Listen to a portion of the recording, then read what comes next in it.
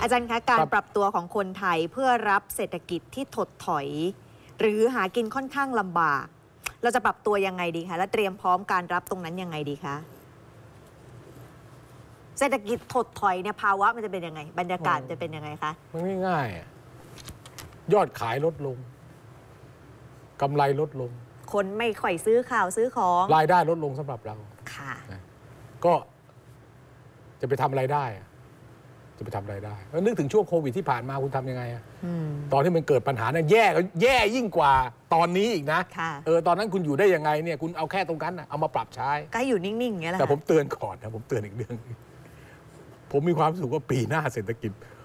มันอาจจะไม่ดีกว่าปีนี้ด้วยนะ อันนี้ยังไม่ใช่ของจริงอยู่เหรอคะ ไม่ไม่ใช่มันไม่คืออย่าไปพูดของจริงของปลอมอะไรอะมันเป็นของที่เกิดขึ้น อ๋อ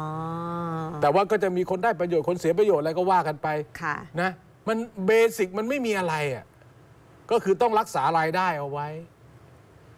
ถ้าเกิดรักษารายได้ไม่ได้ก็ต้องลดรายจ่ายค่ะไม่งั้นก็จมมีเท่านั้นเออนะอาจารย์อย่าแล้วอย่าไปหวังพึ่งคนอื่นค่ะอย่าไปแบมือขอรัฐบาลให้เสียศักดิ์ศรีค่ะ พึ่งความสุขก็ได้นะตอนนี้